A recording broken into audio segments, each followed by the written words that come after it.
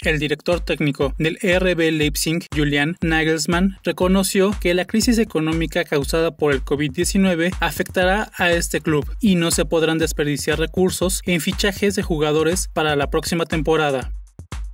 El estratega manifestó que probablemente el Leipzig no ejercerá la opción de compra que tiene por el delantero checo Patrick Schick y por el lateral español Argeliño, pese a ser dos elementos que se han consolidado en su esquema titular, pero que deberán regresar a la Roma y Manchester City respectivamente.